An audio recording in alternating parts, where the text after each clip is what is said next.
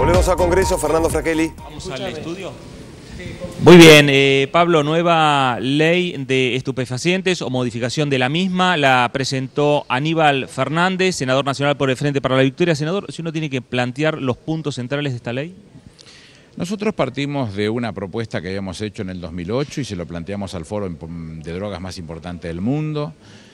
Sosteníamos que, hay que hacer dos cosas. Una, dedicarse a los derechos humanos de segunda generación, que es defender al, usuario este, como, un enfermo, darle la atención que tiene que tener desde el punto de vista público, de las obras sociales, desde las prepagas y por otro lado ser durísimo con el narcotráfico, buscar las alternativas y modificar nuestra legislación que ayude y genere los medios necesarios para que pueda atacarse el narcotráfico.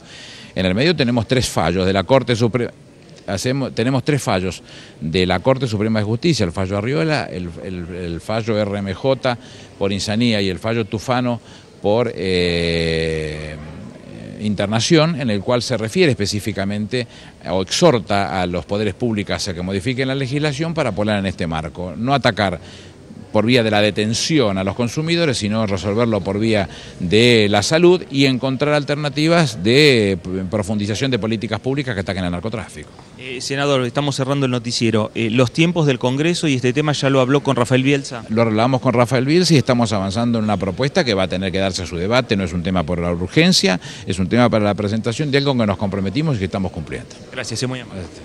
Muy bien, el senador Aníbal Fernández, senador por el Frente para la Victoria por la provincia de Buenos Aires. Ustedes, por favor. Gracias, Fernando.